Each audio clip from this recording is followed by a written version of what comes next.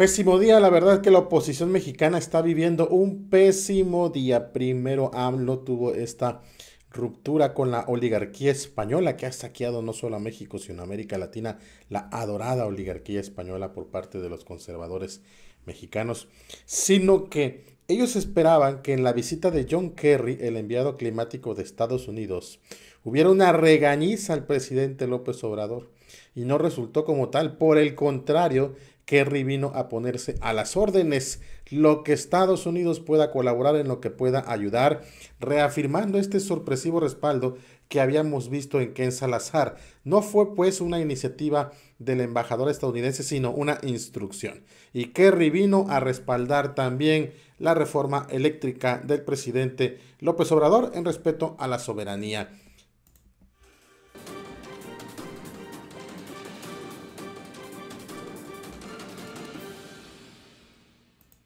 Bueno, amigas y amigos, qué gusto saludarlos en Guacamole News. Muchas gracias que están viendo estos videos. Invitaciones a suscribirse, darle like al video, pónganle ahí a la campanita para que les notifique.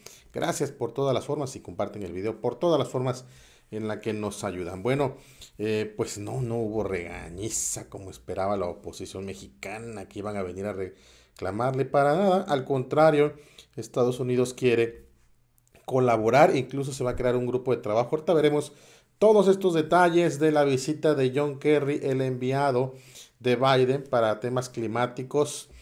Ya había venido, ya había hablado bien de AMLO, eh, recordemos una gira que hubo en el sureste mexicano.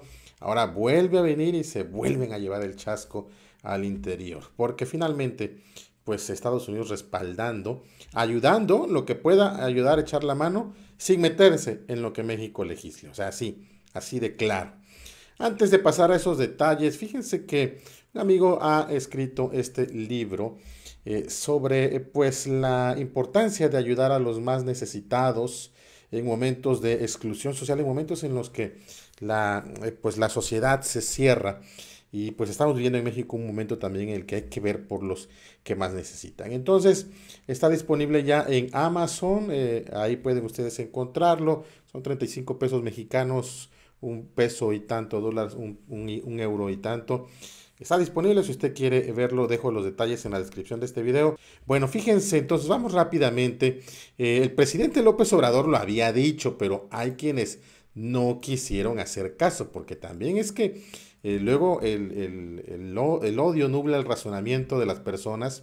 El presidente ya había dicho, miren, la visita de John Kerry a México no es una muestra de que Estados Unidos esté preocupado.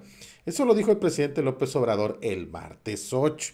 Él aseguró que México es independiente en aquel momento, que había buenas relaciones y que eh, pues eh, no, no, que ellos han sido respetuosos de la soberanía de México.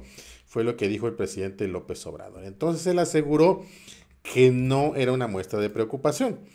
Tan no lo era, sino que la realidad es que eh, Kerry venía ahora sí que a reforzar lo que dijo el embajador y a, y a echar la mano a México porque debe, haber algunos, este, algunos acuerdos por ahí.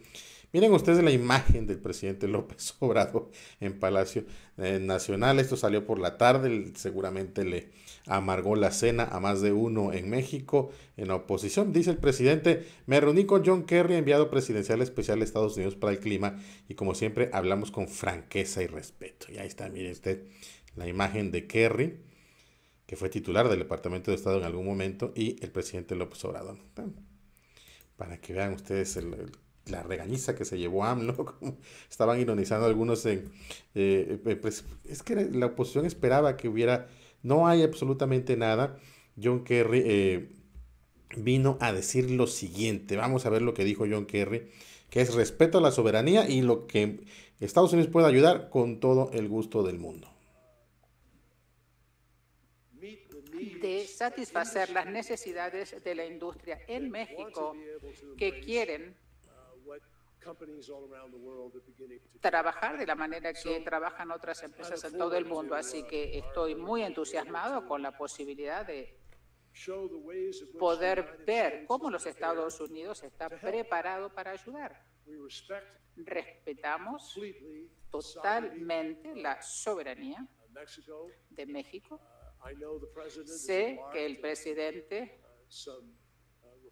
ha comenzado a hacer algunas reformas que son importantes para él y para su país. Lo que nosotros queremos hacer es trabajar con México para reforzar, como dijo la secretaria Granholm, fortalecer la posibilidad de que el mercado sea abierto, competitivo y esperamos hacer esto en el momento en que el presidente sigue eh, trabajando en estas reformas. Así, pues ahí está. Kerry también aseguró, es que los Estados Unidos tienen muy claro que México es enormemente rico en este tema de las energías renovables. Eh, Kerry remarcó en esa conferencia de prensa, citaba la jornada, que México está bendecido con bienes energéticos que otros países no cuentan, como es el sol, el viento, la geotermia, la hidroeléctrica e incluso los combustibles fósiles. La posibilidad de tener básicamente una red moderna hace que sea muy claro para nosotros Sé que el presidente López Obrador tiene una visión de esto y en todo el mundo los países están moviéndose rápidamente utilizando energías renovables. Entonces, que ellos tienen claro eso, o sea, tienen que apoyar al presidente mexicano en su reforma para poder entrarle también en determinado momento al tema de las energías renovables. Toca, eh, digamos, callarse, aunque Kerry obviamente dijo también que mm, Estados Unidos insta a México a garantizar que la reforma eléctrica respete los términos del TEMEC. Desde luego, que no se infrinja el tratado comercial. Expresaron sus preocupaciones de que no vaya en contra del TEMEC. Esto, eso lo dijo en una entrevista, que es, eh, lo citaba la agencia, por cierto, la agencia Bloomberg y Reuters también. Eh, obviamente que no vaya en contra de quitarle a empresas estadounidenses todo eso. El propio Marcelo Ebrard habló, abundó sobre este tema. Vamos a ver lo que decía Marcelo Ebrard a la salida de Palacio Nacional al término del encuentro. Comunicado más tarde, pero la parte esencial que les quiero decir es lo que se ha convenido que hagamos. La, gran preocupación de John Kerry es acelerar el paso hacia energías limpias, electromovilidad, ah, aumentar la producción de energía de todo tipo eléctrica, etcétera, eh, con energías que no sean o que no consuman fósil. Eh, hoy en México la producción de energía de CFE tiene más proporción de energías limpias que la que produce el sector privado. Pero esa no es la discusión, la discusión es qué podemos hacer entre México y Estados Unidos estos tres años y los siguientes diez para elevar el potencial enormemente de producción de energías limpias entre México y Estados Unidos. Esto ya lo habían hablado en Palenque. Ya se había llegado a un acuerdo, si por ahí lo tienen ustedes, de la cumbre de líderes de América del Norte, ya son acuerdos que ya se tomaron. Entonces ahora yo creo que la parte sustantiva es que se acordó formar un grupo de trabajo, un task force entre México y Estados Unidos, para tener un entendimiento como el que hicimos en materia de seguridad. Sea, cuál sería la acción o las acciones que podemos tomar juntos. Eh, México ha planteado muchas cosas, eh, lo vamos a tratar de reflejar en el sobre este tema en particular. Entonces, para sintetizar, fue una reunión donde cada quien... Pues él lo dijo, ojo, como Marcelo Ebrard, los próximos tres años Estados Unidos quiere trabajar con México en el tema de las energías renovables en las que México es inmensamente rico. O sea, no se quieren quedar fuera, saben que tienen que estar con la reforma del presidente López Obrador para empezar desde ahorita.